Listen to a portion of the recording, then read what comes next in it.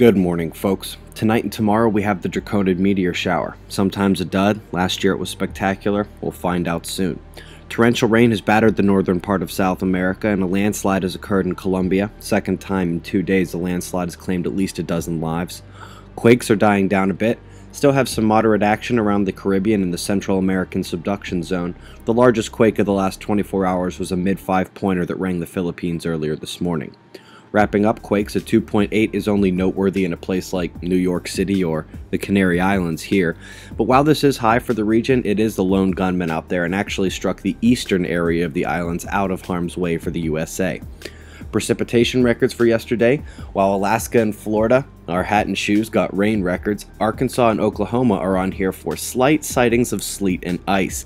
Pulling up yesterday's snow records map to check the earliest recorded winter precip for November here, October here. So this is early for them, but if you go just a little bit west, they have seen September snow. We'll take a quick look here at those clouds as they swept over Oklahoma and Arkansas, set those brief records. Can anyone guess what or where this is? Well, if any Australians remember me saying that your warm temperatures would get one last cold blast this weekend, this is the low pressure system that sucked up Antarctic air, and while I knew you'd get cold, I did not think you would break cold records, some said as recently as 2005. Got two tropical systems flanking the USA. Olivia in the East Pacific is headed for deeper oceans, while we are a little less certain about the new Caribbean low. Could go pretty much any direction at this point. Solar wind, if you thought yesterday's mild fluctuations caused too much space weather, wait till you see this. We have minor spiking of proton density, surely nothing major, not a CME or a coronal hole stream but that it is right here at the baseline coming up.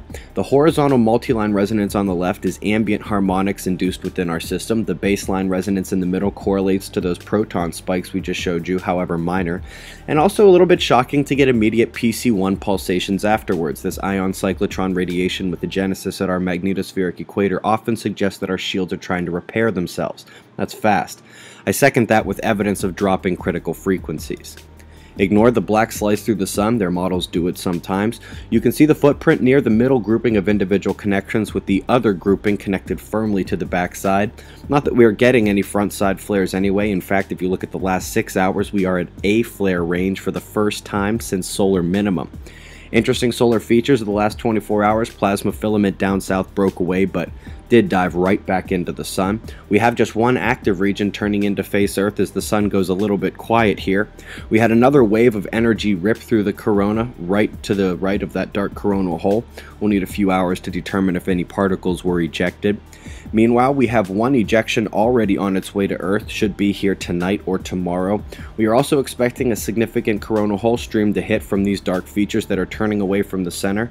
Notice we got another one turning in from the left there.